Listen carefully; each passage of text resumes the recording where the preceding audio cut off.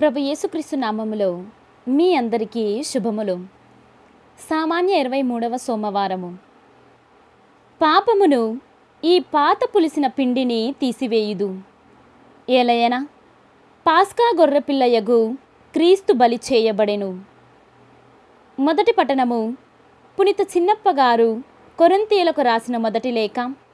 ఐదవ అధ్యాయము ఒకటవ వచనము నుండి ఎనిమిదవ వచనం వరకు. అన్యులు సైతము చేయనేరని మహాదారుణమైన వ్యభిచార దోషము మీ ఎందు ఉన్నదని వదంతి కలదు.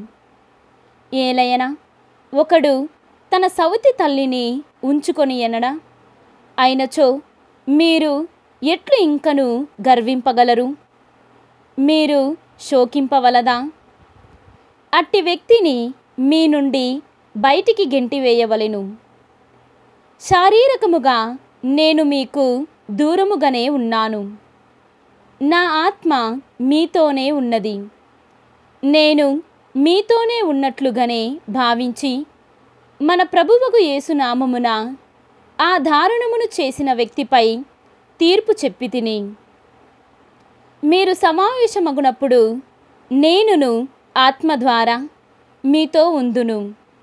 కనుక మన ప్రభువగు యేసుక్రీస్తు శక్తి వలన ఆ వ్యక్తి శారీరకముగా నాశనమగుటకై వానిని సైతానుకు అప్పగించివేయుడు. అప్పుడు ప్రభువు దినమున వాని ఆత్మ రక్షింపబడగలదు. గర్వించుట మీకు సముచితము కాదు. కొద్దిపాటి పులిసిన పిండి పిండినంతయు పులియజేయునని మీకు తెలియదా? పాపమును ఈ పాత పులిసిన పిండిని తీసివేయవలయును. అప్పుడు మీరు ఏమాత్రమును పులియని క్రొత్తదియగు పిండి వలె ఉందురు? నిజముగా మీరు అట్టివారేనని నాకు తెలియను. ఏలయనా పాస్కా గొర్రెపిల్లయగు క్రీస్తు బలి చేయబడిను. కాబట్టి ద్వేషము దౌష్ట్యము అను పాత పిండితో చేసిన రొట్టెతో కాక నిజాయితీ సత్యము అనువానితో కూడిన. పులియని పిండితో చేసిన రొట్టెతో మనము పండుగ చేసుకొందము. ఇది ప్రభువాక్కు. సర్వేశ్వరునికి వందనములు. భక్తి కీర్తన. న్యాయవంతుడవైన నీవు నన్ను విడిపింపుము. ఈనాటి సువిశేషము పునీత. లూకా గారు వ్రాసిన సువిశేషము ఆరవ అధ్యాయము ఆరవ వచనము నుండి పదకొండవ వచనము వరకు. యేసు మరి యొక్క విశ్రాంతి దినమున ప్రార్థనా మందిరమునకు వెళ్ళి ఉపదేశింప ఆరంభించెను. అచ్చట కుడిచేయి ఊచపోయిన వాడు ఒకడు ఉండెను.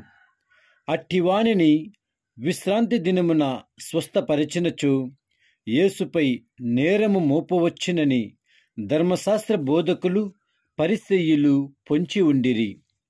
వారి ఆలోచనలను గ్రహించిన యేసు ఊచచేయువానితో లేచి మా మధ్యన నిలవబడుము అనెను. వాడు అట్లే లేచి నిలబడెను. ఆయన వారితో విశ్రాంతి దినమున మేలు చేయుట ధర్మమ్మా కీడు చేయుట ధర్మమ్మా జీవితమును రక్షించుట న్యాయమా? జీవితమును నాశనము చేయుట న్యాయమా?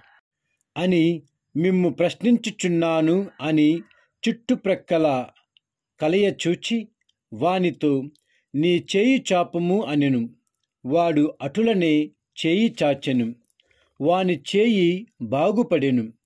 అది చూచి వారు వెర్రి కోపముతో యేసును ఏమి చేయుదమా? అని మంతనములు సలుపసాగిరి. ఇది క్రీస్తు సువిశేషము. క్రీస్తువా మీకు స్థుతి కలుగునుగాక.